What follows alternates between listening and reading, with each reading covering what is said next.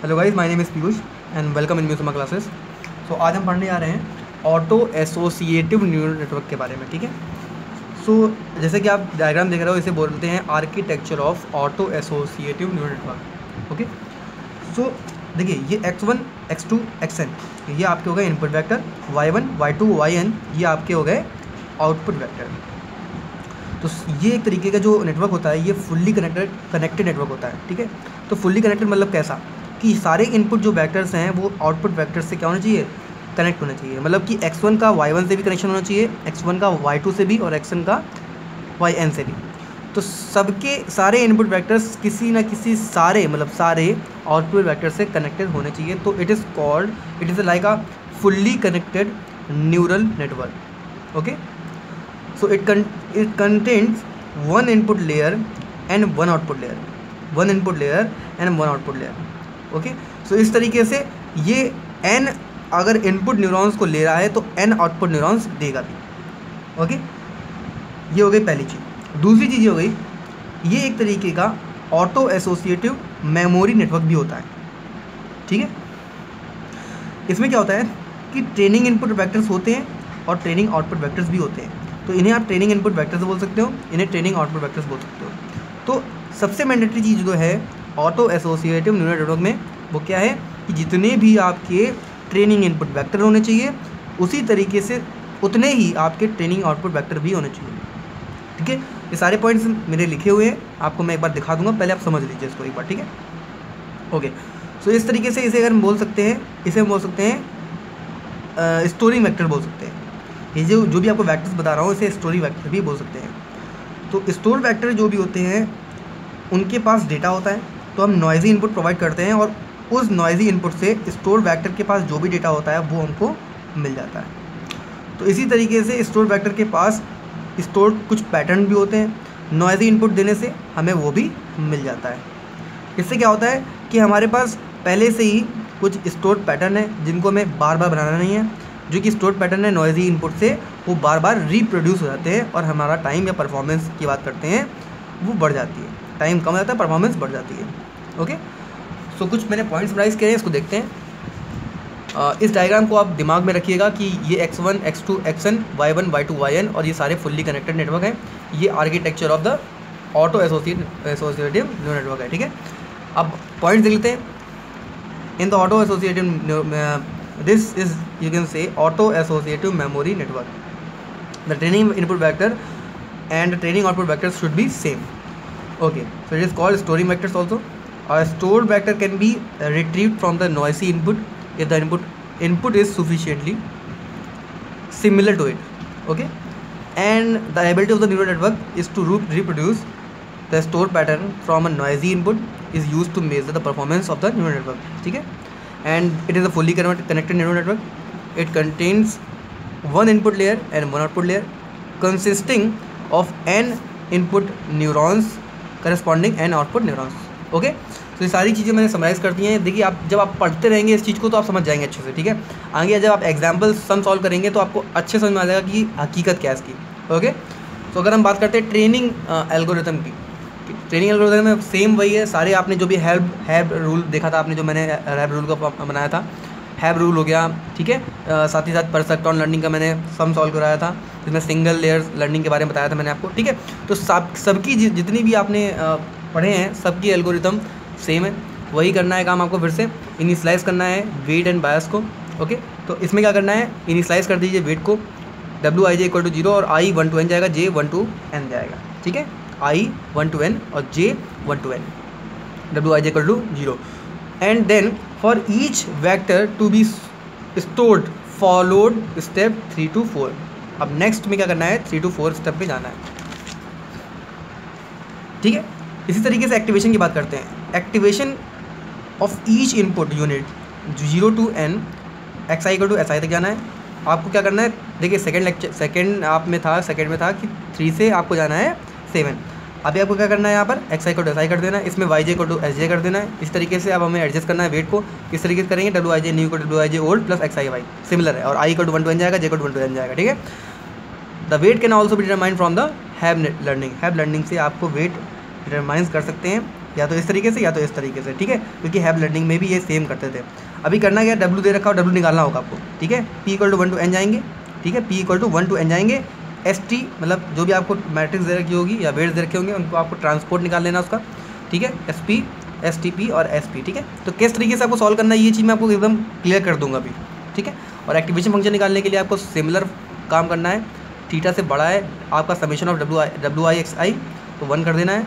और अगर आपको बराबर है थीटा वन के, थीटा वन की वैल्यू दे रखी होगी आपको। थीटा वन के बराबर है तो एक्स एक्स वन कर देना है और अगर थीटा वन से छोटा है तो आपको माइनस वन कर देना है। ठीक है? बहुत ही सिंपल है, सिंपल सा फंडा है। चलिए देखते हैं। इस तरीके से सम दे रखा है, ठीक है? सम में क्या दे रखा हुआ है? ये आपको दे रखा हुआ है यहाँ पर एस दे रखा है, ठीक है? किस तरीके से? देखिए, फिर से पढ़ लीजिए एक बार। Use the Hebb rule to store the vector ये in an auto associative neural net okay? So ये एक आपका क्या दे रखा है? ये स्टोर वैक्टर दे रखा है। तो ये आपका हो गया एस सेकेंड में क्या, ये आपका, इसके बाद क्वेश्चन पूछ रखा है फाइंड द वेट मैट्रिक्स तो वेट मैट्रिक्स कैसे निकालते हैं? पहले इस पर ध्यान देते हैं वेट मैट्रिक्स कैसे निकालते हैं। सिंपल फंडा है, ये निकालना आपको किस तरीके से निकालते हैं? फाइंड द मेड मैट्रिक्स कैसे? एक्स आई को एस कर देना आपको, ठीक है? उसके लिए क्या है, आप, जो भी आपके दे रखे हैं एक्स आई वो आपके एस आई हो जाएँगे मतलब एस हो जाएगा। एस की वैल्यू क्या आ जाएगी? कि similar one one minus one minus one one one minus one minus one तो एस ट्रांसपोर्ट निकालने के लिए करते क्या? है देखिए सिंपल सा फंडा है। आपको इस तरीके की मैट्रिक्स दे रखी है। One one minus one minus one तो आपको सिमिलर कर देना है। इसको उल्टा कर दीजिए। वन इधर, ये वन इधर, ये माइनस वन इधर माइनस वन इधर. ये इधर, और इसी तरीके से ये जो पहले था one one minus one minus one अब इनको क्या कर देना आपको? कैलकुलेशन कर देना है। देखिए, ये क्या हो गई आपकी फोर क्रॉस वन यहाँ रो होता है, यहाँ क्या होता है? कॉलम होता है। ठीक है? इसी तरीके से ये किस ये हो गई वन क्रॉस फोर की। ये वन क्रॉस फोर साइज़ की मैट्रिक्स है, ये फोर क्रॉस वन की मैट्रिक्स है, ठीक है? जब सॉल्व करेंगे तो इस तरीके का रूल है। ये शॉर्टकट है। ये शॉर्ट ट्रिक में कैसे करना है? ये फ्लो रहेगा आपका। आपको पहले उठाना है कैलकुलेट करना है। फिर उठाना है कैलकुलेट करना है। इस तरीके से करना है।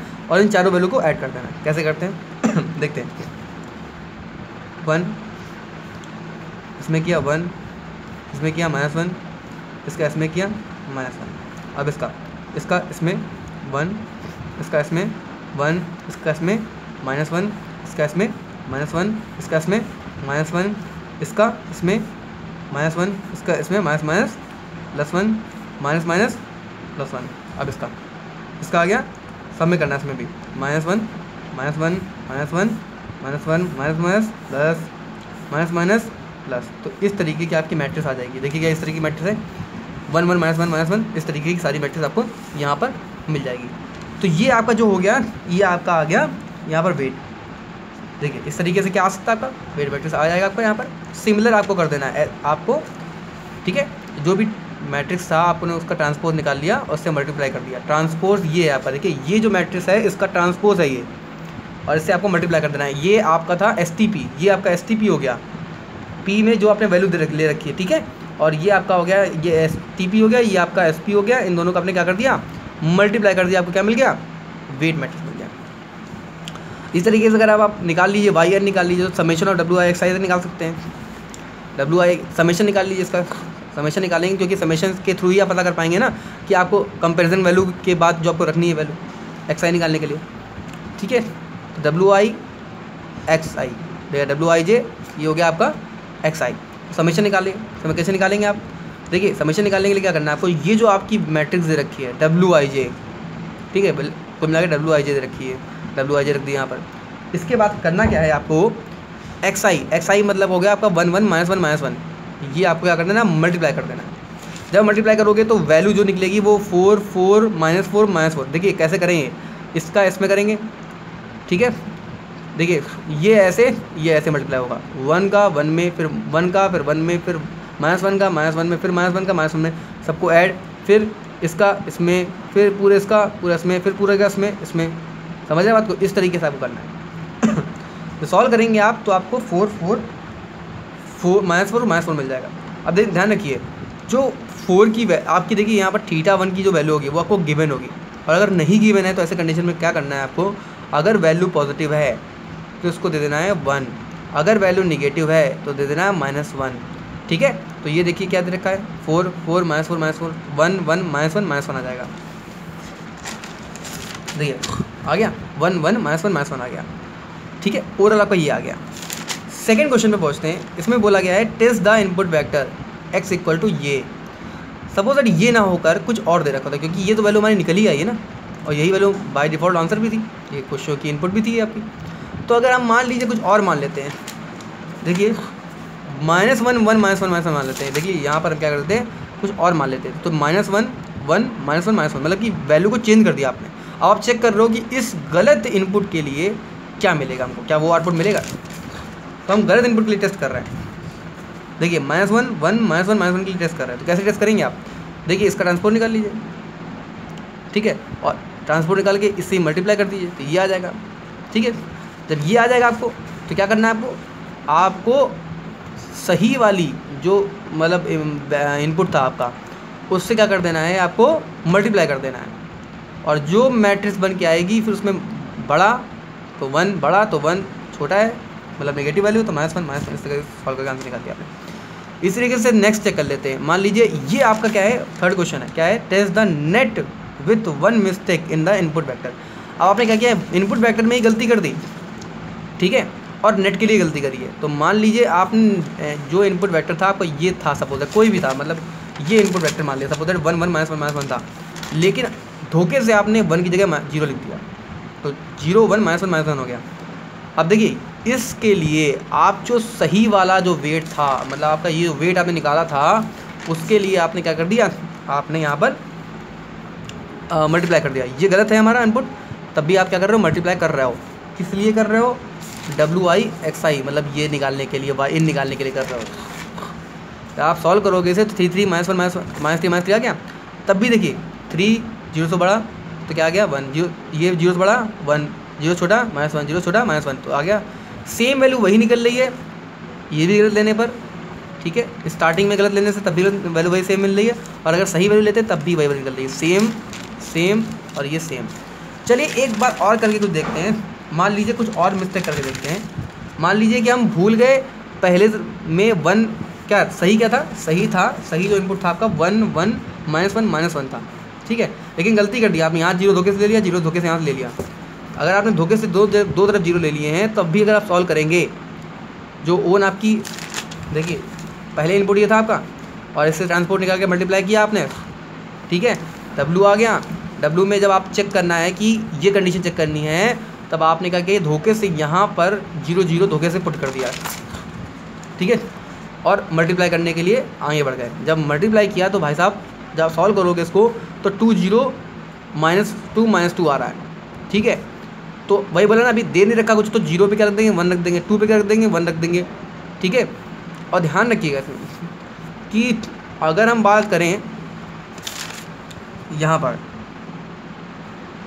हाँ तो क्या होगा? देखिए, जब हम सॉल्व करेंगे तो ये आंसर आ जाएगा, इन दोनों सॉल्व करने के बाद।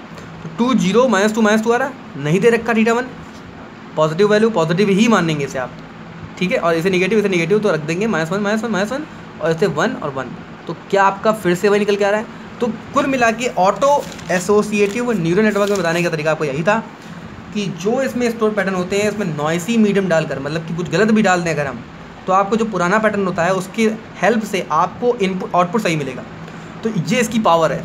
ऑटो एसोसिएटिव न्यूरल नेटवर्क की पावर यही है कि आप अगर मान लीजिए गलत आप इनपुट भी दे देते हैं तो उस जगह पर जो आपका पुराना पैटर्न है, आपके में जो आपके स्टोर्ड जो वैक्टर्स हैं स्टोर वैक्टर्स हैं उसमें सेव है।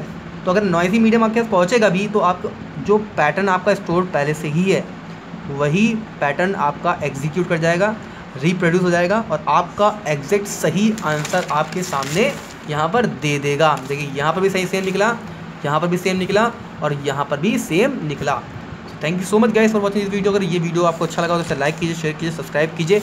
एंड इस सबके नोट्स मैं आपको प्रोवाइड कर दूँगा। बस आपको एक व्हाट्सएप नंबर पे एसएमएस करना होगा। व्हाट्सएप नंबर मांगने के लिए आप कमेंट करिए। मैं आपको कमेंट बॉक्स पे आपके व्हाट्सएप नंबर दूँगा।